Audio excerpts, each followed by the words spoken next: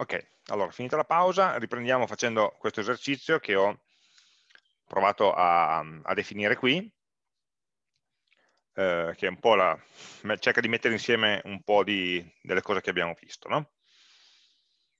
Eh, C'era una, una, domanda in sospeso da, da, Alessia, ma devo dire che né io né Antonio che ha provato a rispondere non abbiamo capito la domanda, quindi ho, o la, o la rifai oppure magari salta fuori durante l'esercizio, se no diciamo, lo approfondiamo dopo. Mm? Allora, ehm, scriviamo un programma per gestire un elenco di amici, il programma deve permetterci di inserire, quindi ogni volta che il programma ci chiede di inserisci un amico, possiamo inserire un singolo amico, oppure un gruppo di amici, quindi più persone, sulla stessa riga, separati da virgola. Quindi se voglio inserire tre nomi, anziché inserire uno, poi invio, poi l'altro nome, poi invio, poi l'altro nome ancora, poi invio, li posso inserire tutti sulla stessa riga, separati da una virgola. Il programma nostro deve accettare entrambe le forme. Okay? Eh, ovviamente nel primo caso lo aggiungerà, nel secondo caso dovrà spezzare o separarlo nei vari nomi e, e poi dopo aggiungere singolarmente i singoli nomi. Ogni volta che un amico o un gruppo viene inserito dall'utente, dovrà essere aggiunto ad una lista che memorizza tutti gli amici, ma solo se tale amico non esiste ancora, perché non vogliamo avere degli amici duplicati due volte, inseriti due volte. Altrimenti, se invece l'amico esistesse già, si stampa un messaggio di errore e si ignora il dato. Quindi se inserisco qui, qua, qua e poi inserisco di nuovo qua, eh, lui mi dirà no, guarda che qua c'era già e non lo può inserire una seconda volta. E quindi aggiunge a questa lista. Ad ogni inserimento il programma dovrà stampare il numero di amici presenti, e questo è facile, seguiti dall'elenco completo di tutti, quindi ogni volta che ne inserisco uno lui me li stampa tutti, quindi mi dà diciamo così, la situazione complessiva, in ordine alfabetico, con i nomi separati dal carattere punto virgola, tanto per cambiare, non una virgola. Il programma termina quando l'utente inserisce tre asterischi, al posto del nome chiaramente. Allora questo è il comando per dire ho finito. Ok? La parte opzionale la, la, eventualmente la guardiamo dopo. O ve la lasciamo divertire, nel senso che se uno inserisce, anziché un nome di un amico, da solo oppure come parte della lista, il nome preceduto dal simbolo di asterisco, allora indica che quel nome lì so che c'è già ma la voglio cancellare, quindi non sono più amico con quello tizio lì. Eh, ma lasciamolo come parte aggiuntiva. Allora, ehm, io andrei per gradi no? a risolvere questo esercizio. Nel primo passaggio io mh, ignorerei questo. Facciamo una prima versione in cui inserisco gli amici uno per volta. Poi dopo ci preoccupiamo di, di gestire l'inserimento di più amici contemporaneamente sulla stessa linea. Ok? Bisogna partire da qualche cosa, non si può scrivere tutto completo. Eh. Vediamo se possiamo semplificare qualche cos'altro no, questa cosa qua la, la terrei e questo anche è abbastanza semplice. Mm? Allora, abbiamo un programma che acquisisce una stringa per volta fino a quando questa stringa non vale asterisco, asterisco, asterisco. Fatemi cancellare la parte sotto, che in parte riutilizzeremo, ma... Eh, e quindi abbiamo una elenco degli amici, che inizialmente è vuoto, e poi la struttura principale di questo programma che cosa sarà? Sarà un grosso ciclo in cui chiedo all'utente inserisci un amico e questo ciclo si ripete finché la stringa inserita dall'utente non è asterisco, asterisco, asterisco. Quindi sarà un eh, nome uguale input eh, inserisci un nome tra parentesi, asterisco, asterisco, asterisco per finire, e while eh, nome non è tre asterischi, ripeti, inserisci il nome, aggiungi il nome alla lista e poi leggi il nome successivo quindi alla fine dovrò avere come ultima istruzione, ormai questo è uno schema che abbiamo abbastanza comune, no? di una lettura fino a quando l'utente non inserisce un certo valore.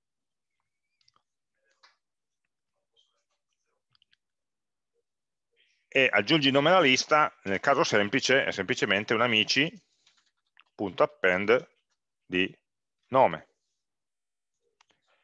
Ho una lista che parte con zero elementi, leggo una stringa che è un nome, lo aggiungo alla lista, come un elemento in più.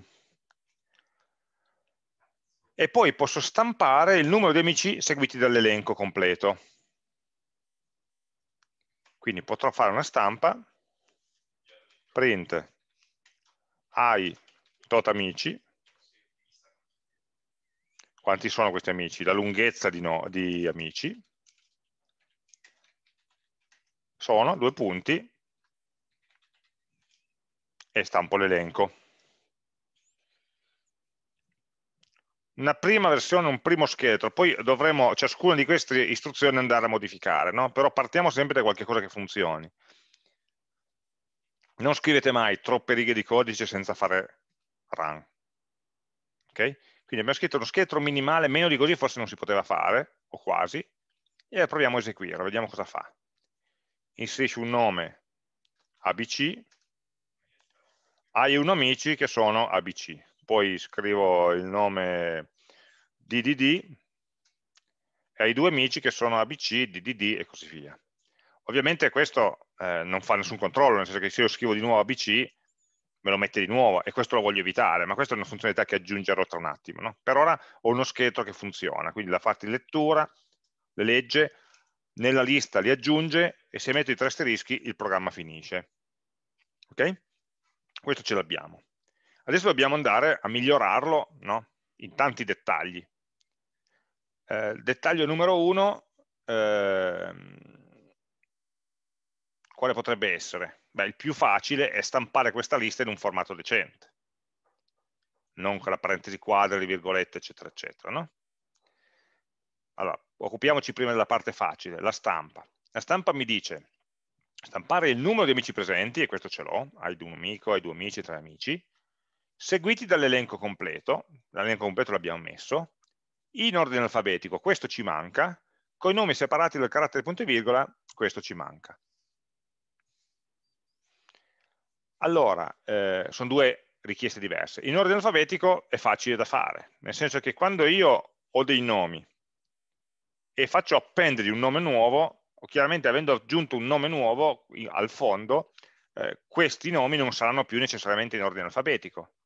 Vabbè, dopo che l'ho aggiunto, semplicemente posso riordinare la lista. Mm? Quindi potrò semplicemente dire dopo che l'ho aggiunto, eh, mantieni l'ordine alfabetico e quindi amici.sort subito dopo. Ogni volta che aggiungo un nome, quindi sto per stampare l'elenco di fatto, eh, aggiungerò, scusate, eh, ordinerò nuovamente gli elementi. Adesso la sort li ordina da capo come se fossero tutti disordinati. In realtà, eh, avendola messa qua dentro il ciclo, ogni volta che aggiungo un nome, lui riordina in modo da mettere a posto quel singolo nome. Se proviamo a eseguire, vediamo che se io inserisco il nome Z, poi inserisco il nome A, il nome A viene stampato prima del nome Z, perché ogni volta che inserisco un nuovo nome lui mi riordina, non lo aggiunge semplicemente in fondo, ma lo inserisce nel punto giusto in funzione dell'ordine alfabetico. Poi non funziona benissimo perché se io metto una A, mi dimentico la, la maiuscola, la minuscola dal punto di vista lessicografico, essendo una lettera minuscola, viene dopo la Z maiuscola e quindi questo nome qui verrà dopo. Ma questo perché l'utente non ha inserito correttamente le maiuscole e le minuscole. Se vogliamo poi lo possiamo correggere questo problema. Mm? Un passo alla volta come sempre. Fin qui ok? Quindi abbiamo letto dei nomi, li abbiamo aggiunti in, una, in un array e abbiamo mantenuto ordinato questo array, semplicemente riordinandolo ogni volta. Però non abbiamo stampato nel formato giusto. Abbiamo usato semplicemente la stampa della lista e la stampa della lista Python sapete che la fa con le parentesi quadre, con le virgole, con, le, con gli apici, eccetera, eccetera.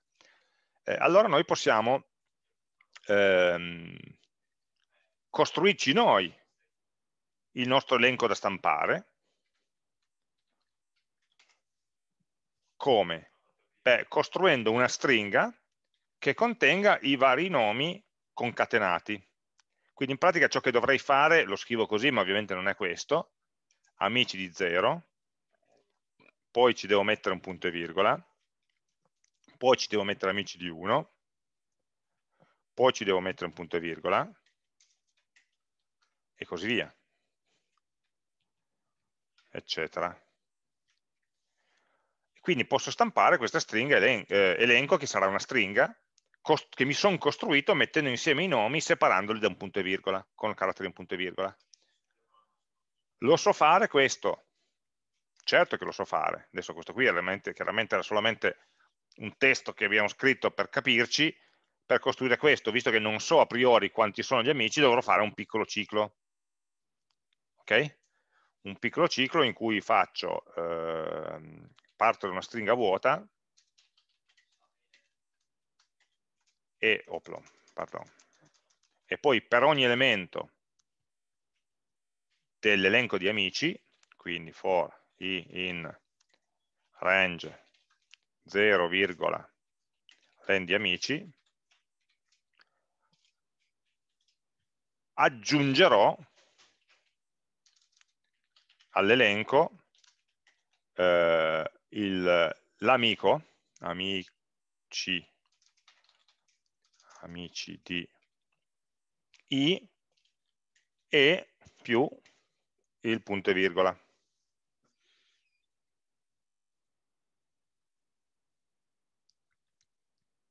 Sì, eh, ci arrivo al join, hm? questo è chiaramente il punto d'arrivo, però volevo fa farlo passo passo. Hm, quindi questo è il modo in cui mi costruisco un pezzettino alla volta, adesso questo non funziona ancora, eh? ci mette un punto e virgola di troppo. Vediamolo. Se io inserisco ABC, mi stampa ABC punto e virgola. Se, se, se ci aggiungo DF, mi stampa correttamente tutti in ordine alfabetico, separati da punto e virgola, però purtroppo c'è un punto e virgola in più alla fine. Eh, e quindi dovrò fare in modo che questo punto e virgola non venga aggiunto come ultimo elemento. Daria mi chiede se questo punto più uguale si poteva anche usare extend, eh, no, perché elenco non è una, ehm, una lista ma è una stringa e le stringhe non si possono estendere perché non sono modificabili. Eh? Quindi di fatto, se vogliamo, guardate, facciamolo più chiaro.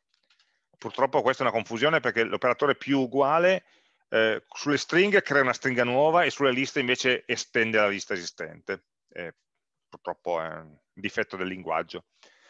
Se lo scriviamo così è più chiaro. Prendo l'elenco precedente, ci aggiungo un pezzettino e lo salvo nella stessa variabile, quindi dimenticando la lista precedente, la stringa precedente.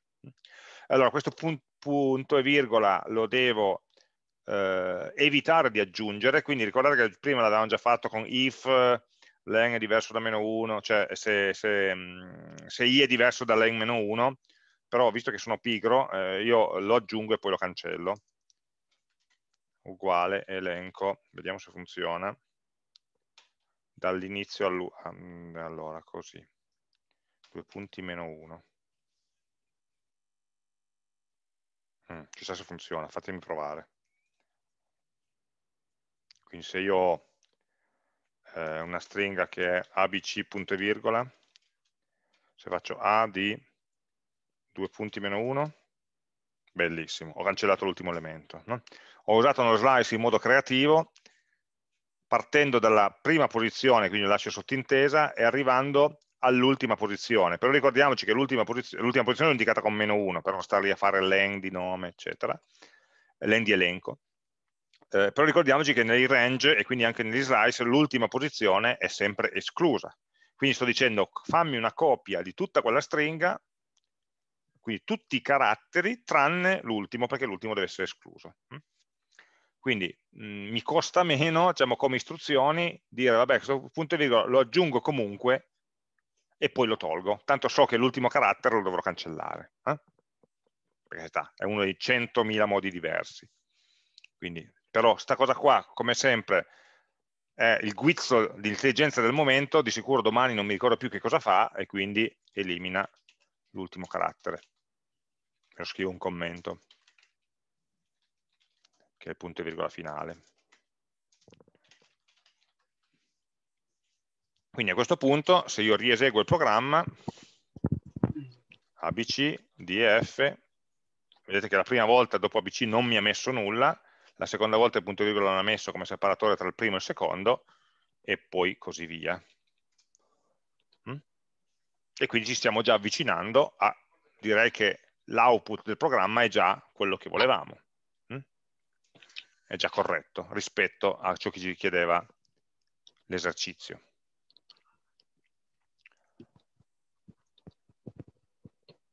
Mm? Perché l'esercizio ci diceva semplicemente ad ogni inserimento, ok, dovrà stampare il numero di amici, ok, seguiti dall'elenco completo, ce l'abbiamo, in ordine alfabetico ce l'abbiamo, con i nomi separati dal punto e virgola ce l'abbiamo anche quello, siamo a posto.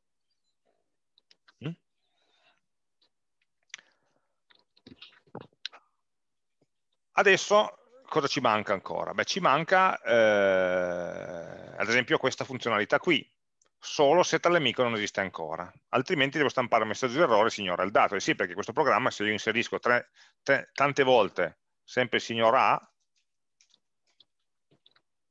me lo inserisce tante volte alla nausea, beh questa volta è un nome diverso perché è un A in più, quindi io devo evitare questo, quindi dovrò da quando leggo il nome qui a quando faccio l'append dovrò fare una serie di controlli. Quindi possiamo innanzitutto dire che verifico se il nome esiste già, che il nome non esiste ancora. Allora, questo è facile perché dico che se il nome non è tra gli amici, allora lo aggiungo. E poi rimetto in ordine alfabetico. Altrimenti, altrimenti vuol dire che c'era già, nome è duplicato. E quindi cosa dovrò fare? Stampare semplicemente un messaggio l'amico amico nome è già presente. E non, e non faccio nulla. Mm? e non lo aggiungo, non faccio l'append non faccio il sort perché ovviamente non avendo modificato la lista non serve niente metterla in ordine.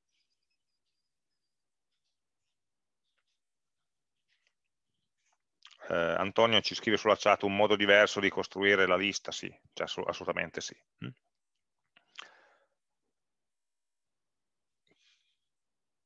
Ok, eh, proviamolo.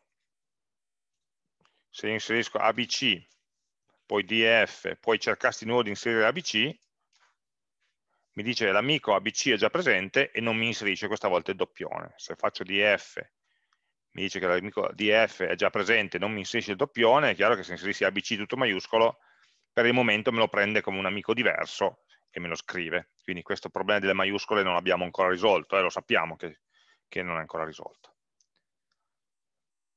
Però l'abbiamo, diciamo così, al, al, netto del fatto che l'utente scriva in modo coerente no, le maiuscole e le minuscole, il nostro programmino funziona e finisce qua. Adesso qui ci stiamo eh, fidando di qualunque cosa l'utente inserisca come nome, no? Potrebbe anche inserire come nome 313, potrebbe inserire punto esclamativo, potrebbe inserire una stringa vuota e ci sembrerebbe che un, un nome legittimo di un, di un amico. Quindi bisognerà probabilmente prima verificare che il nome sia corretto e poi già che ci siamo possiamo anche mettere a posto i, ehm, i, i, le, le, lettere maiuscole e le lettere minuscole. Ok? Allora io però non voglio tanto complicare il codice qui, allora mi definisco una funzioncina, no? verifica nome, a cui passo il nome, e lei mi restituirà, in questo caso dico restituiscimi true. Qui dentro farò, e poi ovviamente la devo modificare questa funzione, farò tutti i controlli che voglio. Quindi con, dirò se eh, nome e la stringa vuota. Allora ritorna falso. Se else if eh, not nome.isAlpha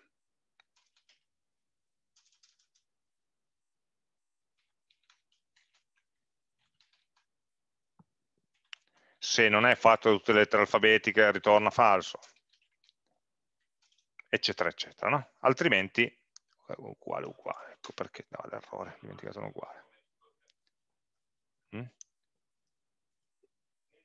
Si chiama isalfa, no? La funzione, perché non la trovo.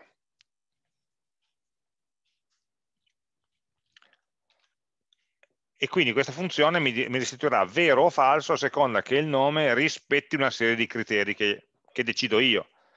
Eh? Quindi questa funzione semplicemente verifica che il nome fornito rispetti dei criteri di correttezza. Queste funzioni qua che controllano l'errore sono sempre complicate perché devi andare a pescare 12.000 casi particolari eh, e quindi magari me la metto in una funzione così non mi dà fastidio al, al programma principale e quindi qua semplicemente andrò a controllare, prima di verificare se il nome esiste o no, andrò a verificare, verifica se il nome è corretto. È scritto correttamente. Quindi scriverò if verifica nome del nome che ho ricevuto, allora posso andare avanti.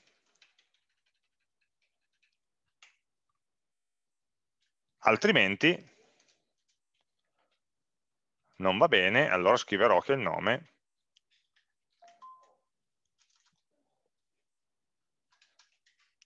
il nome eh, nome non è scritto correttamente.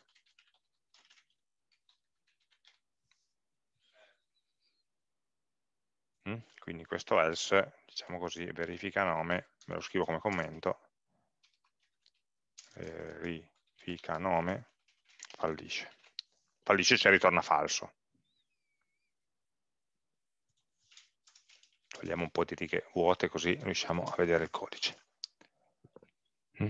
Quindi qui adesso abbiamo fatto qualche controllo, semplicemente, no? Semplicemente detto, allora, se il nome è vuoto, se il nome non è fatto di lettere alfabetiche, eh, allora ritorna falso, altrimenti ritorna vero perché vuol dire che è valido. No? Proviamo un po' a vedere come funziona.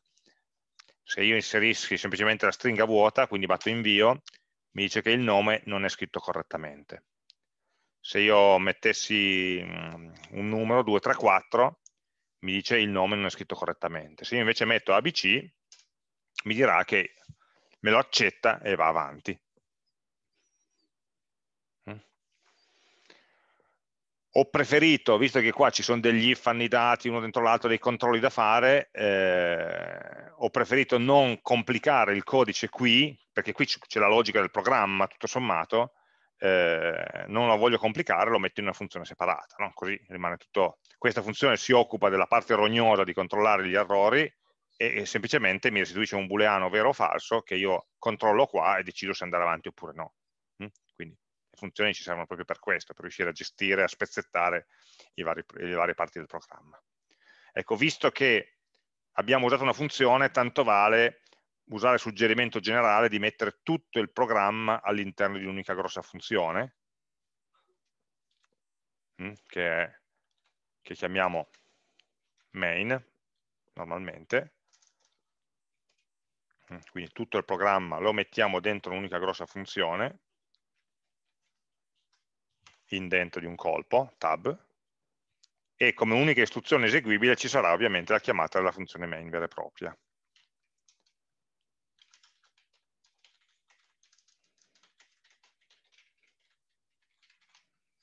Questo ha il vantaggio che la funzione, come una funzione verifica, non potrà mai accedere alle variabili come amici, nome, eccetera, che stanno invece dentro la funzione main. E quindi abbiamo tutto il codice che è dentro o una funzione o un'altra funzione e siamo sicuri che ciascuno ha le proprie variabili e non si, ehm, e non si eh, diciamo così, creano confusioni. Eh, Filippo mi chiede come faccio a fare il contrario dell'indentazione shift tab. Mm? Tab indenta e shift tab invece rientra. Tab va avanti e shift tab invece torna indietro, se volessi fare così. Shift tab e invece il tab me lo rientra. Mm? Ok, cosa dobbiamo ancora fare? Beh, eh, ad esempio potremmo eh, normalizzare il nome, no? Cioè, noi abbiamo questo problema delle maiuscole e minuscole. Allora, questo qui, tra l'altro mi è scappato lo, lo shift e ho scritto ABC con anche la B maiuscola. Allora, se noi facessimo una funzioncina che prende un nome e me lo restituisce mettendo a posto le maiuscole e le minuscole, mm? eh, mm, a questo punto normalizza, normalizza maiuscole, mm, lo posso fare eh, facendo in modo di restituire una nuova stringa che sia fatta semplicemente col primo carattere maiuscolo e tutti gli altri minuscoli. E questo semplicemente prendo il primo carattere, nome di 0, upper, più i restanti, come faccio? Beh, prendiamo uno slice, dall'1 fino in fondo, lower, e ritorno questo. Quindi aggiungo un commento, dato un nome, fatto di lettere alfabetiche, di caratteri alfabetici,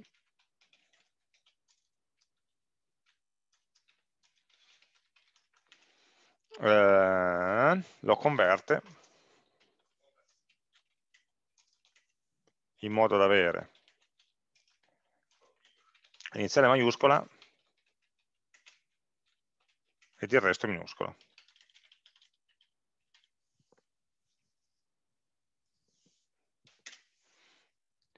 E quindi noi possiamo usare questa funzione normalizza maiuscole dentro il nostro codice, quindi dopo che ho fatto verifica nome e prima di controllare se negli amici appendolo eccetera eccetera, lo normalizzo. Al posto di nome lo sostituisco con normalizza maiuscole di nome.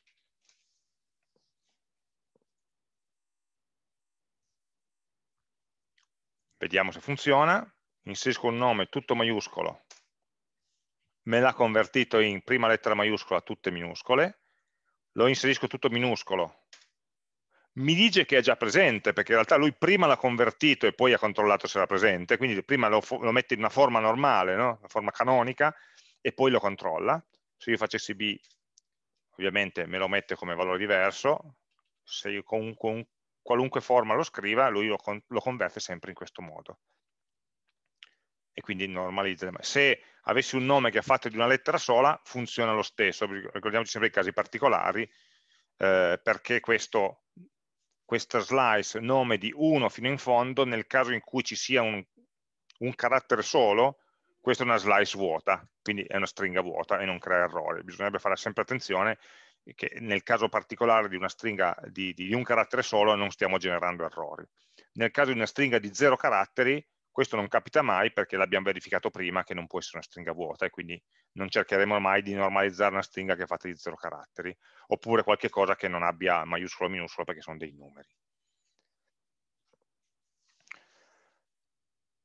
E, e quindi diciamo così, mettiamo insieme, questa è una piccola elaborazione sulle stringhe che già sapevamo fare, ma la usiamo in questo caso in un contesto per ripulire i dati che stiamo inserendo in una lista. L'unica operazione sulle liste che abbiamo fatto oggi sono queste, no? tutto il resto è gestione semplicemente dell'input.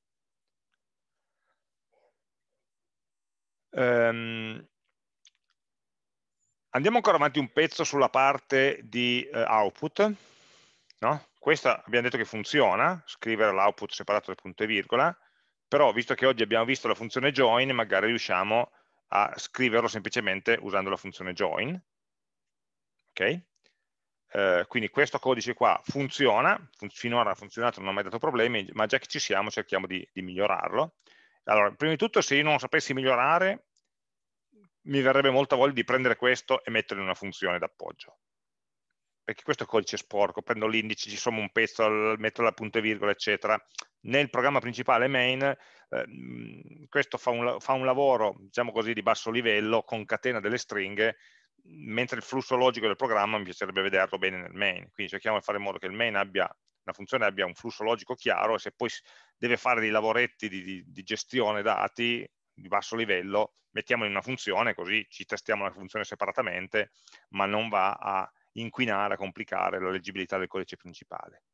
Però noi questo possiamo evitare di farci una funzioncina apposta per fare questo, e quindi lo commentiamo e così rispondo anche a Vittoria che mi chiede come faccio a commentare, control slash. No? Control è il tasto eh, slash, questo qua, sbarra.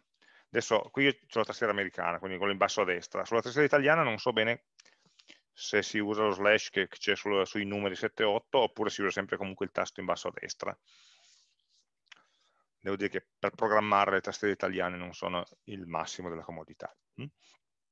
E quindi dicevamo, questo qua si può semplicemente ottenere l'elenco usando l'operatore, il metodo join, che si applica a una stringa che rappresenta il separatore.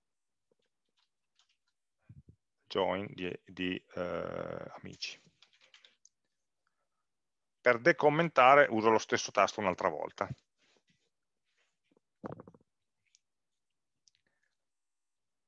Mm, quindi queste tre istruzioni, questo ciclo lo posso semplicemente sostituire con una chiamata all'operazione join. Verifichiamo che non abbia fatto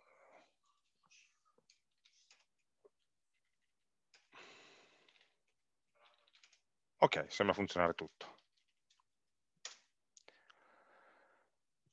Beh, funziona tutto per modo di dire, nel senso che se voi avete la, la sfortuna di chiamarvi con un nome doppio,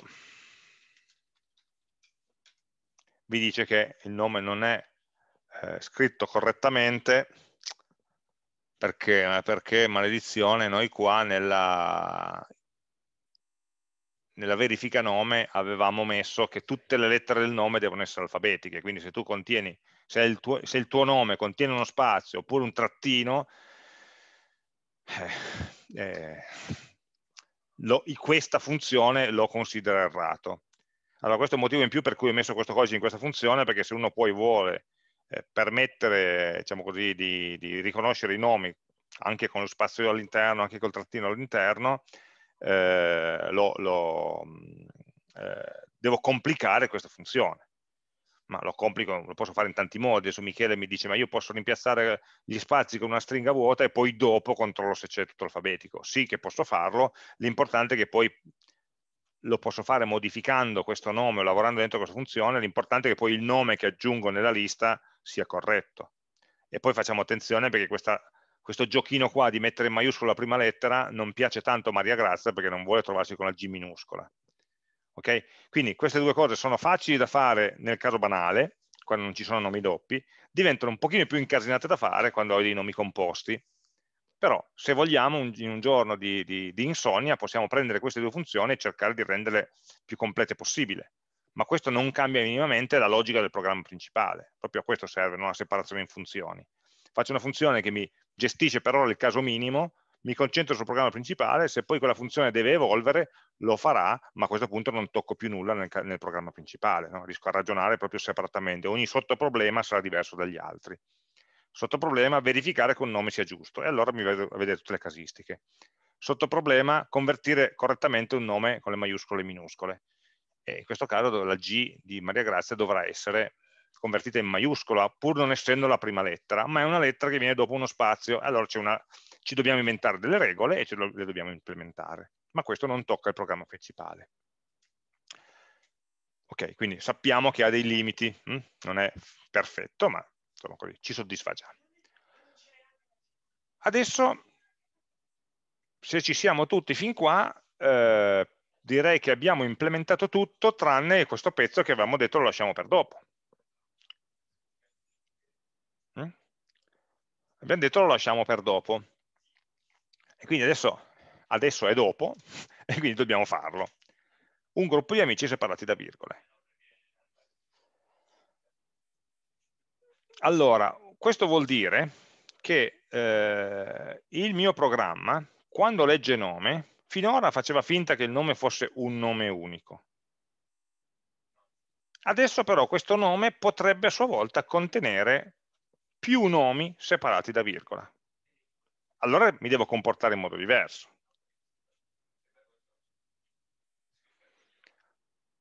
Eh, innanzitutto, prima di fare verifica nome, no, dovrò controllare se questo nome è un nome composto oppure no. Allora, ehm, non mi viene più da chiamare questa cosa nome, ok? Perché magari non è più un solo un nome. Gli cambio nome a questa variabile, la chiamo in modo diverso, così mi distingue facilmente nel codice quello che è la linea inserita dall'utente rispetto al singolo nome che magari è un pezzettino solo di quella linea. Ok? Quindi chiamiamola proprio linea. Che se è tre asterischi mi fa uscire il programma e poi questa linea anche in fondo dovrò leggerla. Dopodiché il caso semplice è quello in cui la linea non contiene la virgola. Allora, se la linea non contiene la virgola, allora il programma che ho scritto funziona correttamente. Quindi if la virgola not in linea, allora il nome, l'unico nome dell'unica persona sarà tutta la linea e vado avanti col programma che avevo. Quindi fatemi fare tutto questo e lo indento di una posizione. Questa print la lascio fuori dall'if, no? perché la devo fare comunque in ogni caso. Quindi vediamo un attimo se, se è chiaro cosa sto facendo, allarghiamo un po' il codice leggo una linea che può contenere o un solo nome oppure una serie di nomi separati da virgola. E allora, visto che può comportarsi in due modi questa linea, mi chiedo, in quale caso sono? Se la linea inserita dall'utente non contiene la virgola, quindi l'utente ha inserito un nome solo. E quindi mi ricado esattamente nel caso precedente ho inserito un nome solo.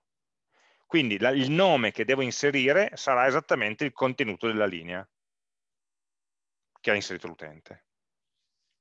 E quindi questo nome qua dovrò verificarlo, dovrò normalizzarlo, dovrò aggiungerlo alla lista e, metterla, e rimetterla in ordine. Esattamente come prima.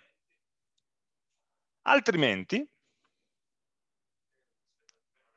eh, no scusate, questa parte di elenco va anche fuori dal ciclo. Eh perché la costruzione dell'elenco e la stampa dell'elenco sono fuori da, non dal cifro, da, da, questo if, sono dentro il while ma fuori dall'if. Else, else eh, allora l'utente ha inserito un elenco di nomi, un gruppo di nomi separati da virgola.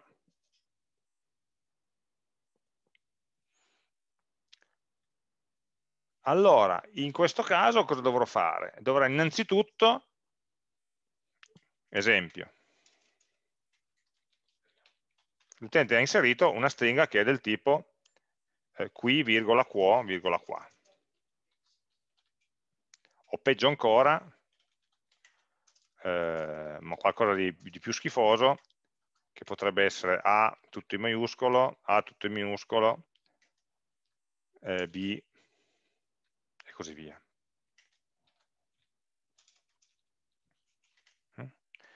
In cui magari ho maiuscole e minuscole messe male e magari oltre la virgola c'è anche uno spazio da qualche parte. Mm?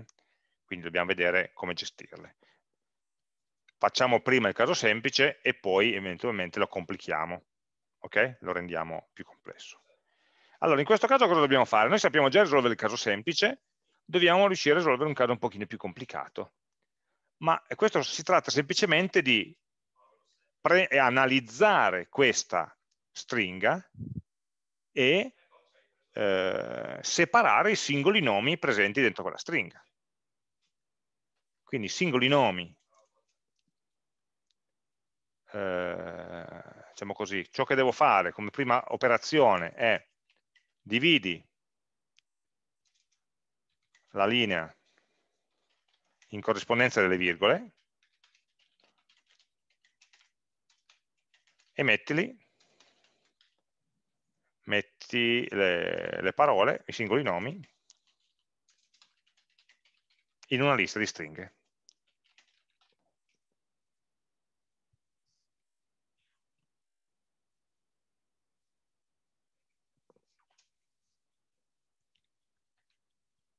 Questo si può fare ad esempio usando l'operazione di split che abbiamo visto prima. Quindi i nomi nomi plurale, non nome singolare, perché è una lista, posso prendere la, la linea inserita all'utente, punto split. Mm. Vediamo cosa fa questa istruzione nella console. Eh, dunque, eravamo qua, quindi immaginiamo che la linea sia questa, quindi linea uguale qui, qua, qua.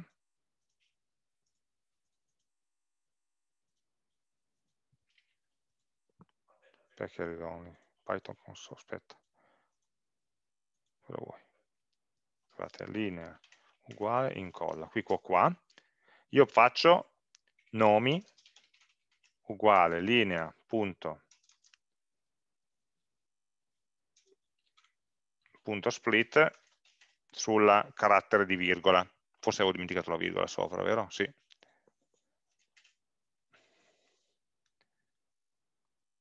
Cosa mi dice? Mi, co mi costruisce una lista nomi che contiene queste tre parole. Ok? Quindi questa ho una lista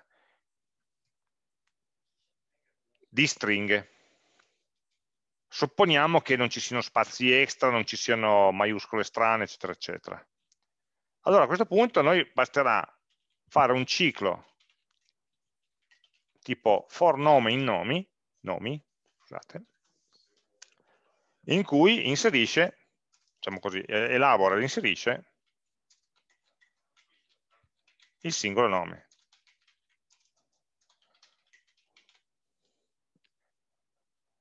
Quindi la prima volta prenderà qui e lo inserisce, ma cosa vuol dire? Faccio esattamente lo stesso codice che avevo qui. Esattamente queste linee le vado a replicare identiche sotto, sul primo nome della lista, poi sul secondo nome della lista, poi sul terzo nome della lista e così via.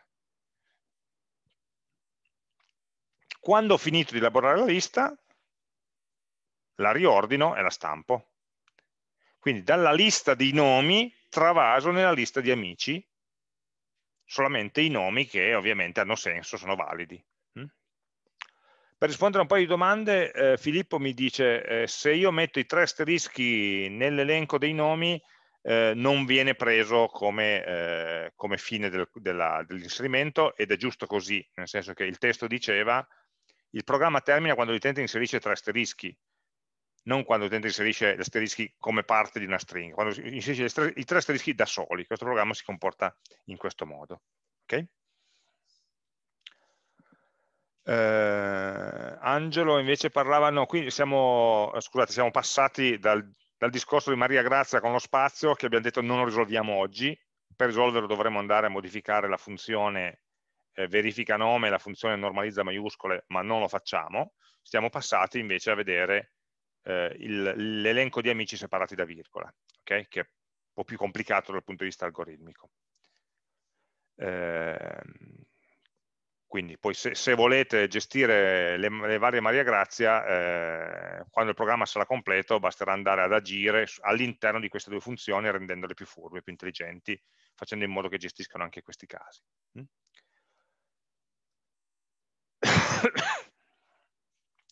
ehm, la domanda di Matteo mi dice, beh, però quando hai un solo amico scrivi comunque hai uno amici anziché hai un amico. Eh, sì, è vero, di nuovo questo è un altro dettaglio, nel senso che qui a questo amici o amico potrei distinguere due casi particolari eh, per scrivere il messaggio più corretto in, in italiano. Um, questi sono, io li chiamo dettagli estetici, ok? Um, vi passo un messaggio. Eh, tante volte si vedono dei programmi che fanno perfettamente tutti i dettagli dell'output, lo spazio, il maiuscolo, il minuscolo, il plurale, il singolare, fanno tutti i controlli possibili sull'input, il nome maiuscolo, minuscolo, il punto esclamativo, la virgola, eccetera, e poi nella parte algoritmica centrale sono completamente cannati, mm, sono completamente sbagliati. Allora, non, me, non dedicate attenzione alle parti, io le chiamo estetiche, di dettaglio, fino a quando il cuore dell'algoritmo non è posto e non funziona. La parte estetica si può sempre aggiustare dopo, e se avete un tempo limitato, che ne so, faccio un'ipotesi, in un esame, eh, se poi non fate la parte estetica negli ultimi 5 minuti, ma chi se frega? Cioè, sì, potrebbe essere, magari non è 37 come voto, neanche 32, ma, magari, ma chi se frega? No? Se invece fate tutto bene l'input, tutto bene l'output, la validazione dei dati, eccetera, poi l'algoritmo centrale che vi viene chiesto non lo fate o lo fate negli ultimi 5 minuti e di sicuro vuol dire che lo fate sbagliato, perché per corsa le cose in fretta, negli ultimi 5 minuti si fanno sbagliate, eh, allora avete già rovinato l'esame, l'avete perso completamente. Okay? Quindi eh, è giusto avere amore per i dettagli, ma i dettagli vengono dopo la sostanza, questo veramente, partite dall'algoritmo. Eh, io so che mh, ti viene da fare i dettagli perché li vedi e perché sono più facili. Sono più facili e poi allora lì aggiungi ancora, fai, eh, fai il ricamo, fai il fiorellino, fai la cosina bella intorno. Tutto perché? tutto per evitare di buttarti sulla parte dell'algoritmo che è quella che magari capisci meno dove hai più difficoltà. Ecco, dovete fare questo sforzo veramente di concentrarvi prima sulla parte algoritmica e poi sulla parte estetica di rifinimento. Okay? Ehm, PyCharm mi segna un errore dove? Ah, mi segna un errore perché in questo, in questo for non c'è un corpo, c'è solo un commento, non ci sono istruzioni. Adesso devo scrivere ovviamente le istruzioni. Ehm, sì, effettivamente, anche dopo i tre asterischi mi dice boom, arrivederci, grazie, quello che volete, ma quelli sono tutti veramente dettagli che non interessano a nessuno. No? Immaginate una persona a caso quando deve correggere 200 compiti di fila se va a vedere se avete fatto tutti questi dettagli. No. Mm? Ok, eh, torniamo qua, che invece non è il dettaglio ma è la, il cuore elaboro e inserisci il singolo nome, dicevamo, rifaccio esattamente questo. Quindi prendo questo codice qui e faccio un'operazione che non mi vedrete mai più fare, ma per la prima volta la faccio, eh, copia qua e incollo qua sotto. Attenzione che dopo che l'ho incollato devo indentarlo di una posizione perché a questo punto sono dentro il for.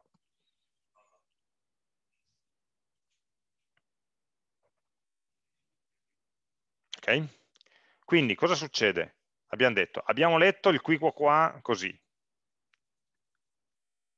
eh, come unica riga. L'abbiamo spezzato, l'abbiamo convertito in una lista, prendiamo, riga 72, il for, uno per volta i nomi di questa lista, e lo chiamiamo nome.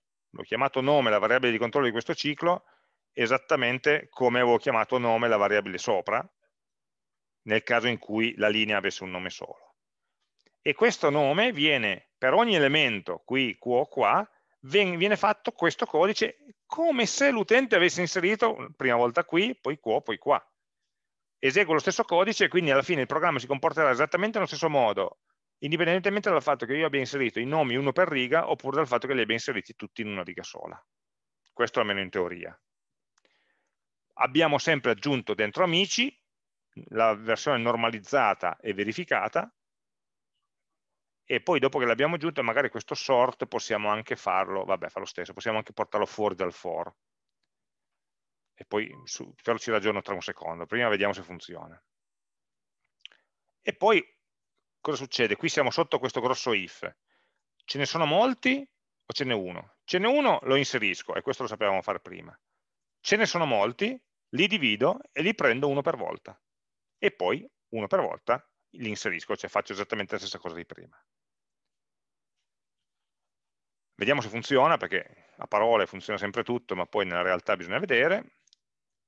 Allora, se io inserisco qui, aiuto amici, sono qui, ok. Se inserisco quo, virgola qua,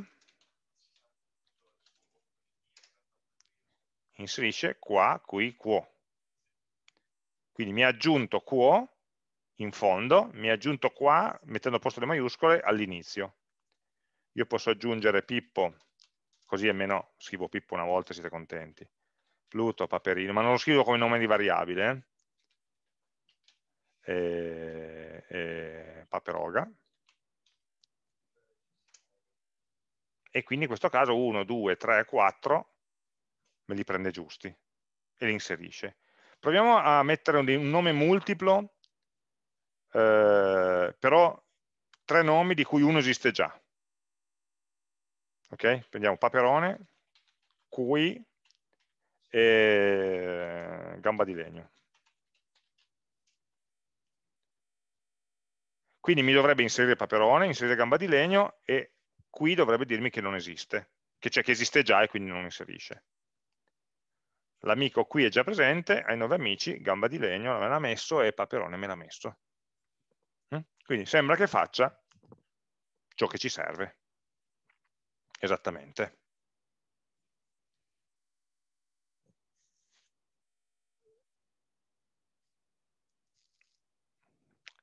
Se l'utente inserisce delle cose strane, tipo A, virgola, virgola, B, lui mi inserisce l'amico A, l'amico B e mi dice che il nome vuoto non è scritto correttamente. Cos'è questo nome vuoto? Sarebbe, sarebbe la stringa vuota che c'è in mezzo alle due virgole.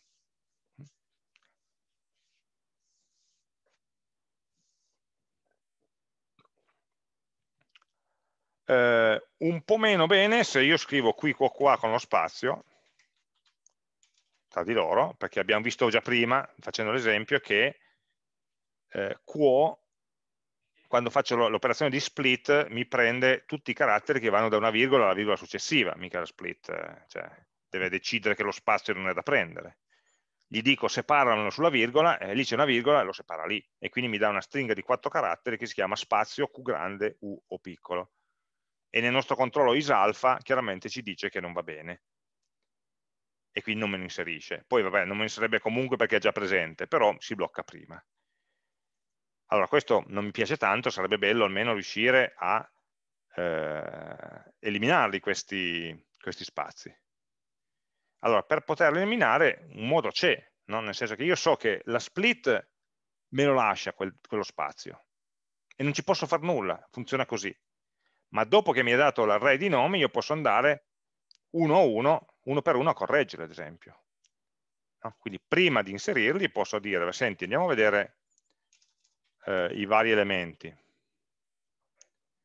for eh, nome in range in, scusate no, i in range 0 eh, length di nomi. Andiamo a prendere, vi ricordate la funzione eh, trim, l'avevamo vista? Se io prendo nome di punto trim, mm, si chiama così, c'era L-trim, R-trim, strip, eh, R, no, scusate,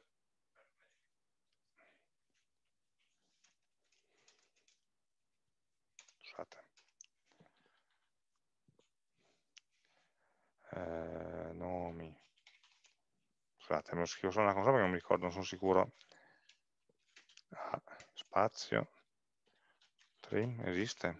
No.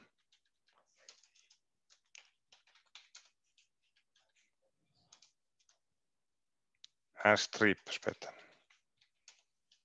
Ok, di nuovo mi confondo con JavaScript. Eh, strip si chiama.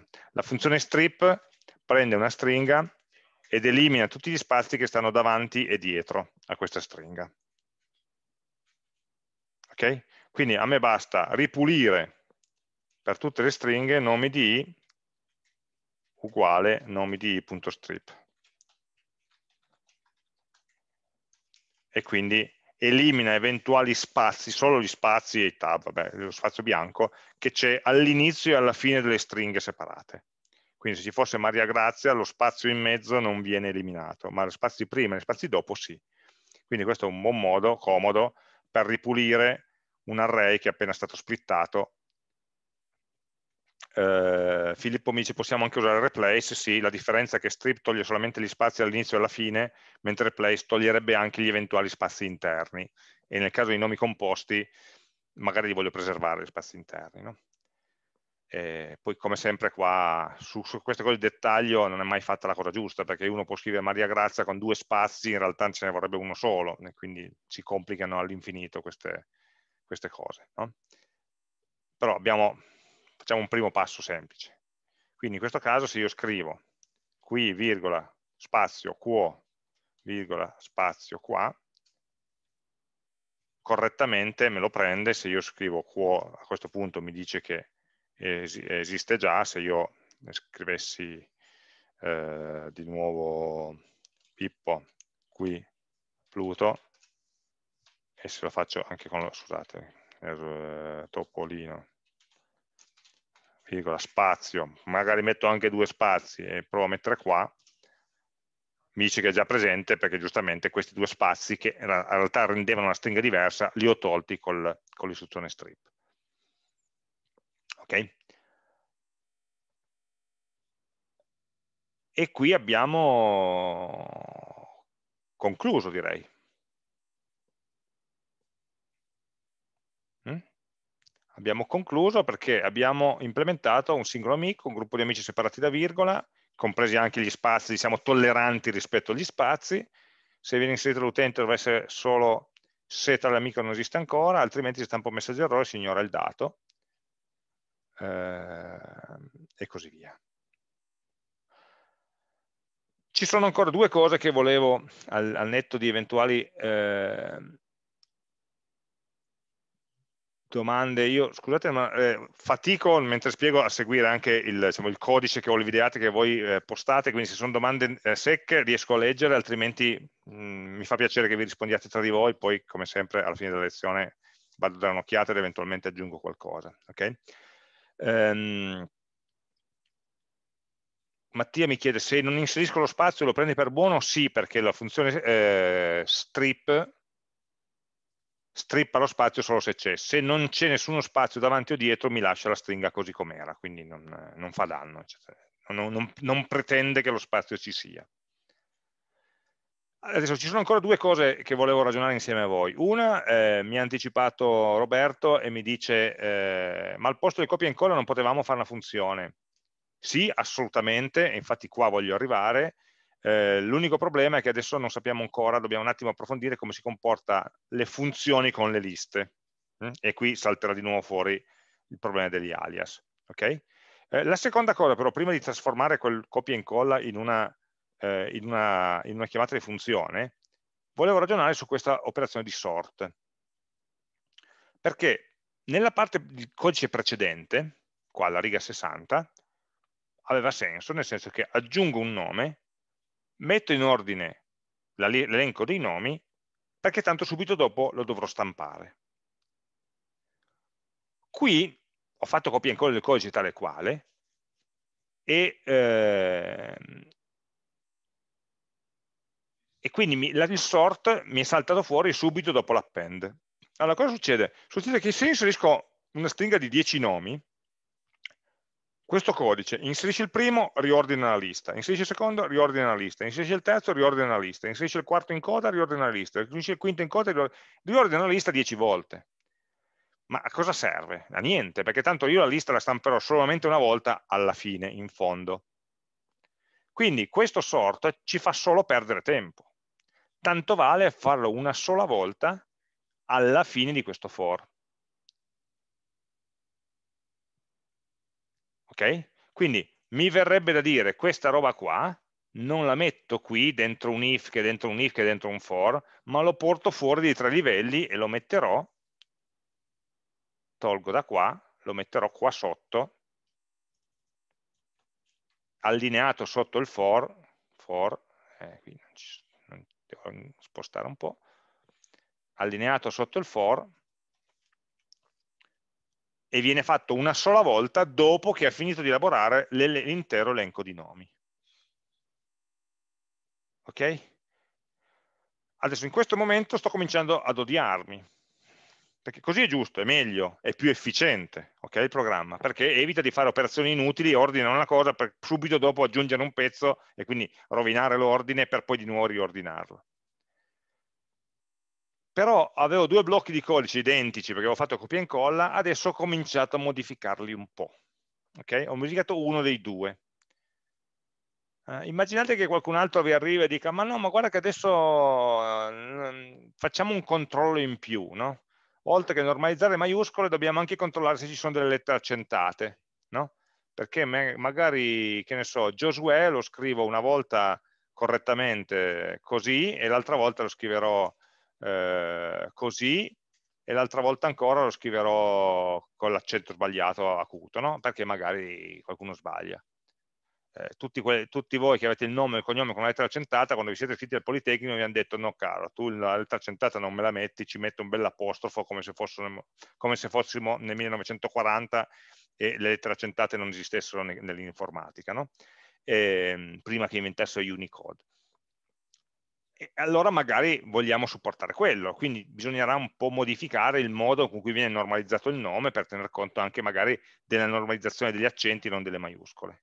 Allora abbiamo che cosa? Abbiamo due blocchi di codice, uno che è qua, da qui fino a qua, e l'altro che è sotto, da qui fino a qui, ma poi anche un pezzo qui del sort, però questo pezzo qui in realtà è fuori da questo for, quindi sono due pezzettini diversi, sono due pezzi di codice che si somigliano, che devono essere corretti entrambi però in modo leggermente diverso, perché ad esempio il sort da una parte è fuori e dall'altra è dentro il, il, ciclo. Mm? Quindi in questo modo eh, Samuele mi diceva, ma non ti piace fare copy and paste perché appesantisce, appesantisce il codice?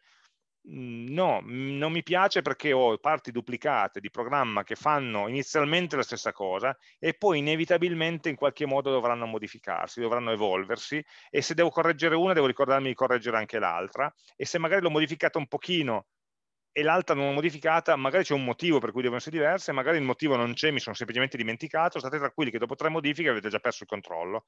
Avete pezzi diversi di programmi, mi, ho in mente i vari programmi del NIM che avete fatto, che sono stati un tripudio di copia e incolla, ma va bene, non avevamo ancora fatto le funzioni, eh, dove effettivamente c'erano parti di codice che erano il gioco trova le differenze, ce l'avete presente, no? Parti di codice in cui forse è uguale, ma forse no, ma forse cambia il nome della variabile, ma forse è. Questo eh, chiaramente rende complicato sicuramente sia, sia scrivere che capire che poi far evolvere il programma. Okay? Allora a questo punto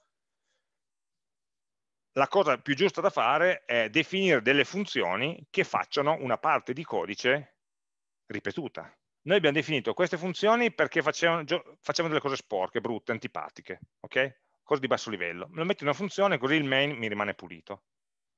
Ma poi mi sono accorto che nel main ho una eh, parte di, di, di esecuzione che viene ripetuta più volte. Allora posso definire una funzione e così scrivo quel codice una volta sola, lo richiamo tutte le volte che ne ho bisogno e quel codice a questo punto è separato. Se, codice, se dentro quel codice ci sono degli errori o va migliorato, viene migliorato una sola volta dentro la funzione. Cosa deve fare questo codice? Questo codice alla fine deve prendere un nome e deve aggiornare l'elenco degli amici, dopo ovviamente le opportune verifiche. E basta. Però questa funzione quindi dovrà in qualche modo avere accesso a qual è il nome che deve inserire, ma anche alla lista degli amici nella quale deve inserirlo. Quindi io dovrò definire una funzione, chiamiamolo inserisci nome, che deve inserire un nome dentro una lista di amici.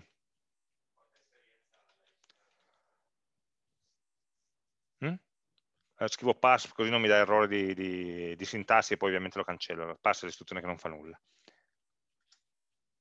Allora, è la prima volta, non che facciamo una funzione, ma che facciamo una funzione che riceve, va bene, una stringa, ma una lista. Allora, chiediamoci solo come funzionano eh, le, le funzioni che ricevono liste come parametri. Quindi fatemi andare a vedere due slide al volo.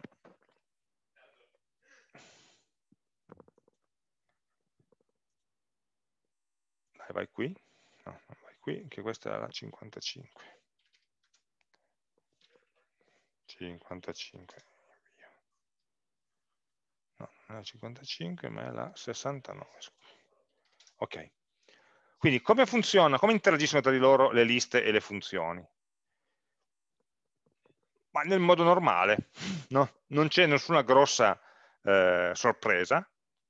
Io posso passare benissimo una lista a una funzione, semplicemente passandola in nome, hm? definendola come parametro variabile e passandola come argomento, e dall'interno della funzione posso avere accesso alla variabile.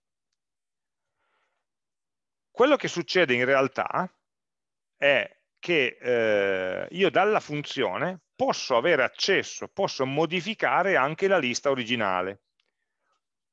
Quando viene passata una lista a una funzione, questa funzione può avere accesso agli elementi della lista originale. Ma perché? Perché viene passato di fatto come alias. Quindi tutto il discorso che abbiamo fatto prima con l'alias ci serve adesso.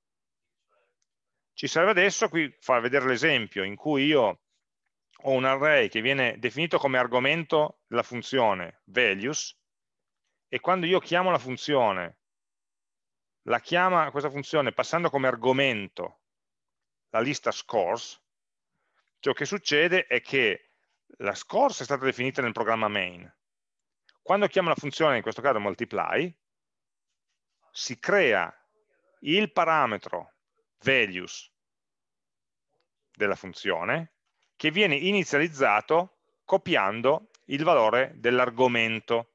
Questa frase l'abbiamo già detta, il parametro viene creato come nuova variabile locale, una variabile di tipo parametro, inizializzata col valore dell'argomento. L'abbiamo già detto la volta scorsa, non fatto. qui funziona esattamente allo stesso modo. Come se io scrivessi values, che è il parametro, uguale scores, che è l'argomento. Ma se io scrivo values uguale scores, l'abbiamo visto all'inizio di questa mattina, sto creando un alias. Ecco, semplicemente questo uguale non lo scrivo io, ma è implicito nel meccanismo di chiamata della funzione. Quindi vuol dire che fin tanto che dentro il codice della funzione io non rompo questo alias, e devo fare attenzione a non romperlo, dall'interno della funzione posso vedere, ma anche modificare la lista che mi è stata passata dal chiamante. Ok? Eh, nulla di più. Qui c'è l'esempio fatto con questa funzioncina, eh, scusatemi, eh, ma la, diciamo così, il punto a cui fare attenzione, essenzialmente abbiamo provato a riassumerlo qua, anche questa è una slide forse che non c'è, ma ve la, eh, ve la, metto a disposizione. Il programma ve lo, ve lo metto io online dopo, non, non preoccupatevi alla fine della lezione ve lo, ve lo, lo pubblico sul sito, eh, come sempre ovviamente. Eh, quindi le operazioni, ad esempio modifico un elemento, faccio un append, un insert, una pop, un extend, una sort, che modificano il valore, le posso fare dentro la funzione e vanno a modificare la funzione del main. Okay? Eh, mentre invece le operazioni che modificano la variabile, quindi riassegno una lista vuota, metto una concatenazione, chiamo la funzione sorted, eccetera, e lo vedete perché c'è il nome del parametro uguale a qualche cos'altro, creano una nuova lista e quindi rompono l'alias di partenza. Da questo momento in avanti questo values non avrà più nessuna attinenza con l'argomento che è stato passato. Quindi devo fare attenzione dentro una funzione, se sto modificando una lista che non è la mia, ma è la lista che mi è stata passata da dal main che mi ha chiamato, devo fare attenzione a non rompere l'alias e quindi usare solamente operazioni che mantengano l'alias che è stato passato. Questo è il punto clou in cui ci serve tutto il giochino che abbiamo fatto nella parte iniziale che poteva sembrare una cosa teorica. E quindi vuol dire che io dovrò prendere questo codice qui,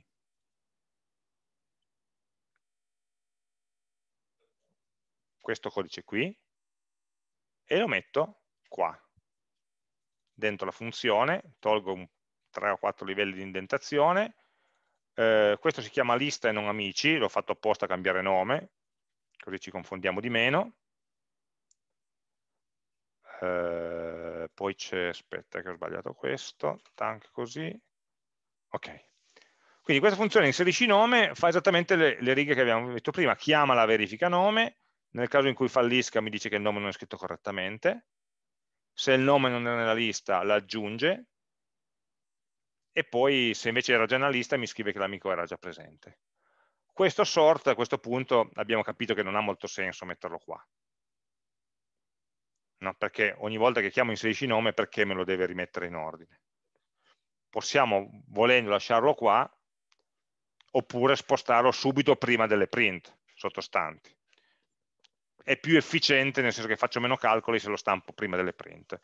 È più robusto se lo lascio qui, nel senso che farò del lavoro in più, ma sono sicuro che quella lista sarà sempre ordinata e non devo riordinarla quando devo stamparla. Ma sono scelte quasi, appunto di, di, quasi di preferenza. Io però lo lascio qua solamente per modificare il meno possibile il codice. Quindi inserisci nome è la funzione che userò al posto di tutta questa parte qua.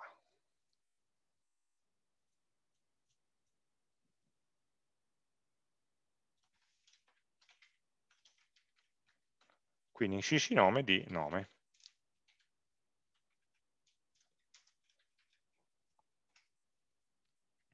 Quindi se non c'è una virgola vuol dire che c'è un nome solo, allora chiamo inserisci nome, scusate, ha due parametri inserisci nome, il primo è il nome, il secondo è la lista amici in cui deve lavorare. Questa lista amici verrà passata come argomento alla funzione dove questa si chiamerà lista e lista è un alias di amici. Quindi tutto ciò che facciamo a lista verrà fatto ad amici finché non rompiamo l'alias. Quindi attenzione che qua noi lista stiamo facendo append e va bene, stiamo facendo sort e va bene e quindi non stiamo rompendo l'alias. E quindi stiamo modificando in realtà non una lista locale, ma direttamente la lista amici del main. Per questo funziona. Okay? E a questo punto questo inserisci nome è una figata perché lo posso mettere qua. Direttamente sotto il for.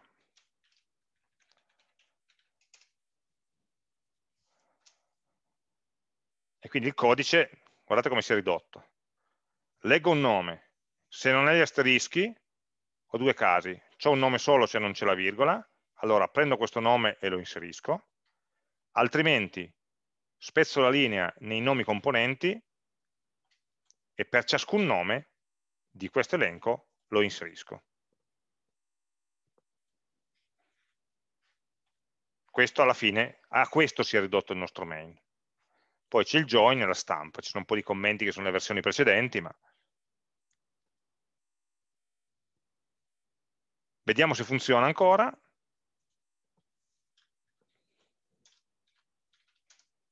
A, B, A, B, C,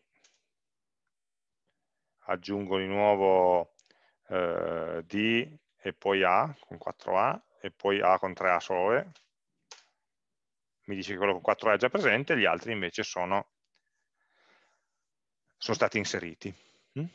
Quindi funziona esattamente come prima, abbiamo fatto un'operazione che in gergo si chiama refattorizzazione, cioè prendo le stesse istruzioni, le sposto, le organizzo in modo diverso, le, faccio, le sposto da, un, da una funzione all'interno dell'altra con una chiamata. Lavora, la funzione lavora sulla stessa lista amici, la funzione non crea una lista nuova. Questa lista non è una lista nuova. Vedete che non c'è mai scritto lista uguale qualcosa. Questa lista è semplicemente un alias inizializzato dall'argomento amici. Quindi nella realtà questa funzione sta lavorando su questa lista che ho creato qua alla riga 60 ed è sempre la stessa. Okay? Dobbiamo solo fare attenzione a questo nel bene e nel male, nel senso che non dobbiamo, se sono dentro una funzione, modificare per errore qualcosa che non è mio, cioè la funzione in questo caso normalizza maiuscola riceve una stringa, non potrebbe modificarla neanche se volesse perché le stringhe sono immutabili. Però se riceviamo una lista e la funzione deve magari analizzare, contare, cercare qualcosa, è ovvio che non deve modificare, ma devo fare attenzione io a non modificare. Quindi se faccio un punto sort solamente per, per stampare, no? ricordate il discorso che facevamo alla fine dell'ora precedente, se faccio sort perché voglio stampare in ordine, in realtà ho modificato anche la, la, lista di partenza e magari il programma principale non è tanto contento che io la modifichi. Quindi quando non devo modificarla devo fare attenzione a non fare operazioni che vadano a modificare tramite l'alias, nel dubbio mi faccio una copia e mi modifico quella. Farei lista uguale list di lista, cioè quindi mi faccio una copia locale e poi lavoro sulla mia copia. Quindi se non devo modificare nulla devo fare attenzione a non rovinare i dati del chiamante attraverso l'alias. Se invece devo modificare i dati del chiamante, come in questo caso, perché devo aggiungere degli elementi a quella lista, allora devo fare attenzione a non rompere l'alias e usare solamente operazioni che agiscono sul valore e non sulla variabile. Questa forse è la difficoltà principale del mescolare funzioni con, ehm, con, eh, con liste, essenzialmente. Questo è il punto in cui ci tenevo ad arrivare in modo che diciamo, ci possiate anche riflettere e provate a fare diciamo così, anche vostro, i vostri esercizi con questo in mente. Non c'è nulla di spaventoso, di difficile nel gestire funzioni e liste insieme, anzi, come abbiamo visto, si, si dà molta area e si semplifica molto il codice, eh, purché ovviamente eh, si seguono bene le regole, si faccia attenzione a qual è la lista che stiamo modificando. Okay? Ho sforato un paio di minuti, è una brutta abitudine che non vorrei prendere, quindi vi chiedo scusa per questi tre minuti, e se ci sono domande urgenti al volo vi rispondo ancora, altrimenti rispondo nella chat eh, mentre diciamo così, chiudiamo la, la, chiamata. Ricordatevi gli orari aggiornati di, eh, del laboratorio di giovedì e come sempre ci vediamo la settimana prossima. Grazie a tutti e buona giornata.